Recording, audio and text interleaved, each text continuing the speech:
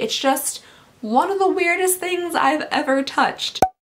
Hello everybody, welcome back to my channel. I hope you're having an absolutely fantastic day. I'm just now realizing that the uh, E in eBay is supposed to be a little e and that the B in eBay is supposed to be a big B, but we're just gonna ignore that. Today we're going to be doing a couple of different things in one. First off, we're going to be doing kind of like an update on the last eBay mystery box unboxing that I did. If you guys want to go check that out, I'll link it down below for you guys. Basically in that video, I get a $35 high-end makeup mystery box and then I unbox it and we see what is inside and we got some items in there that weren't exactly what they promised on the listing. But if you have not seen that video yet, this video is not going to make much sense so you can go ahead and pause this one and go watch that one if you would like to or if not that's fine. But anyway, after that video I did decide to reach out to the eBay seller and just let the seller know that I got some items in there that really didn't match up with the listing and I did get a used item. Basically I suggested that they should change their listing like just a little bit if they wanted to include like drugstore items with high-end items in their mystery boxes and then I just wanted to let them know that I did indeed get a used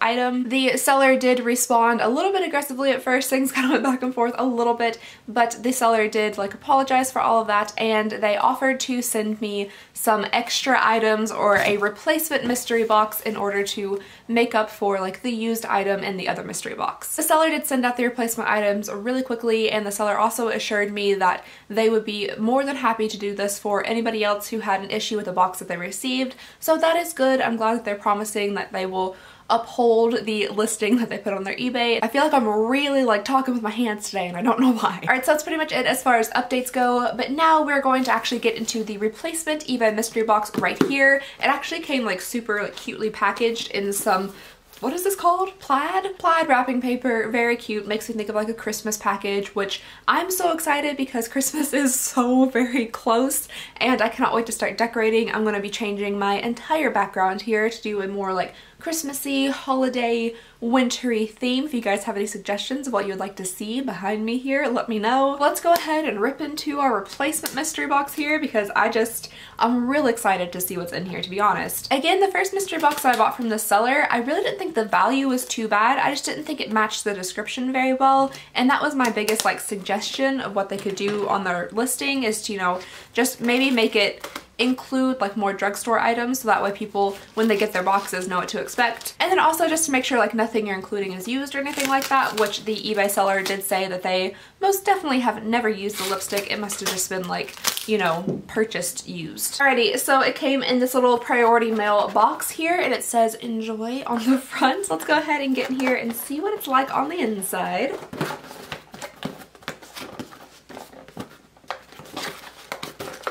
Oh, all right, so let's go ahead and get into this little rolled up envelope to see what is inside. I'm pretty excited. Alrighty, reaching in, I can fill several like smaller items. So I'm just gonna go in and pull them out randomly and see what we got. Let's go for this flatter box first. All right, so our first item here is from Lorac and this is a Color Source Buildable Blush and I've never actually had a blush from Lorac before. It looks like a very pretty color. On the back here, there is a pricing sticker that says $23. So at one point in time, this blush must cost at least $23, so that's good. So the blush comes in a little magnetized pan here. It's actually pretty cute. This is in the shade Prism and it is a very, very pretty color. It is pretty soft to the touch and it's swatched pretty well too. Pretty buttery and creamy and pigmented. I really didn't expect it to give off that much pigment when I first saw it because it looked pretty light, but uh, I like this so far. So, so far so good. Let's go ahead and reach back in here and pull out a skinny box. All right, next up we have something from Urban Decay, which is definitely high end, and this is a 24-7 Glide On Eye Pencil. It is a waterproof eye pencil. Comes in a really pretty package too, nice and shiny, and this is in the shade Desperation. Um,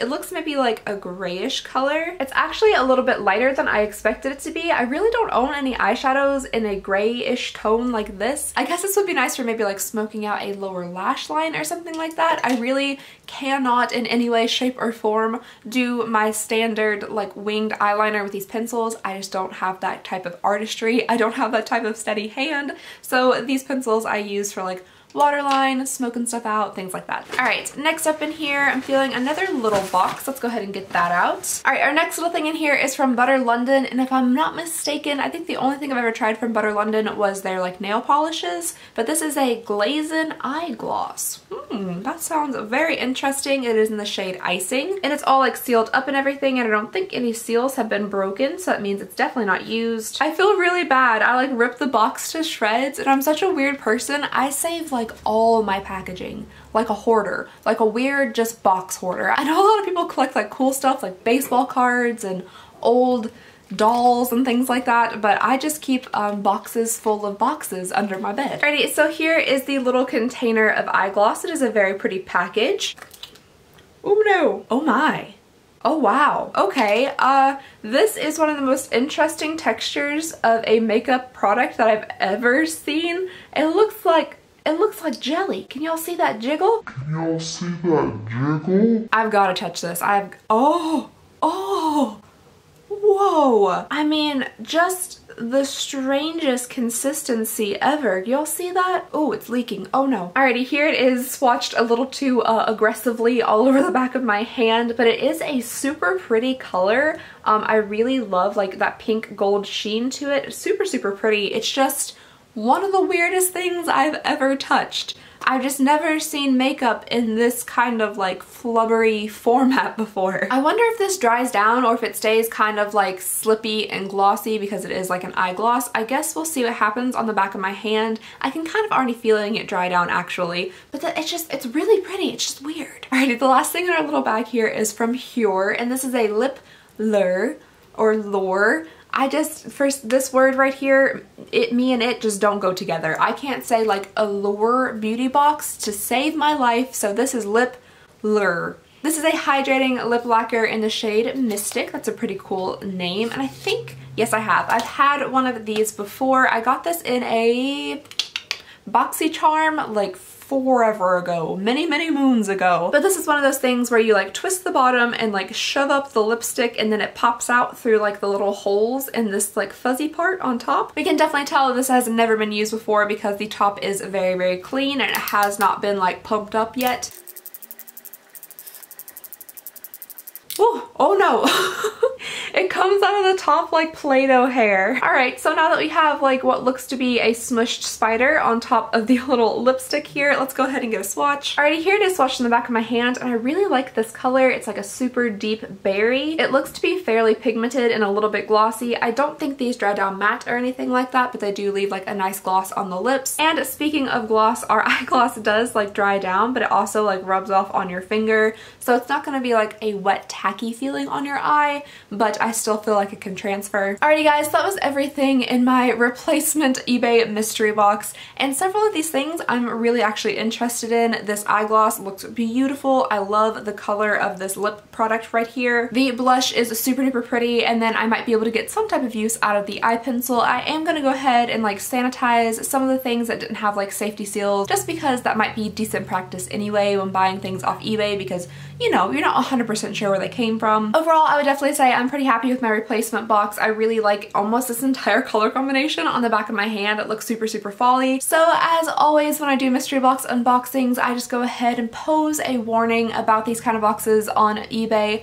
You just never really know what you're gonna get. Sometimes you can get lucky and get some really great stuff, but sometimes you can end up with actual garbage. So I would completely caution everybody to maybe not do mystery boxes. And if you got to, if you just have to, if you are like compelled to purchase a mystery box, just go ahead and get something that's really, really cheap, free shipping. So if you end up getting, you know, a half-eaten banana in a box. It's not going to be like devastating to your bank account. Anyway, so that was my replacement mystery box and I just wanted to share that with you guys and show you like what happened after I did kind of talk to the eBay seller about the listings on eBay. And yeah, that is all I have for you all today. I hope you have an absolutely amazing day. Please go ahead and subscribe if you would not mind. It would mean the absolute world to me. Plus don't forget that we do have our monthly giveaway going on right now. I'll link that down below for you guys. And other than that, I'll just see y'all next time. Bye!